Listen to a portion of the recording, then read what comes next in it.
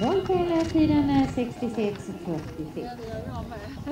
Anders Karlsson från Värnamobygden? slutar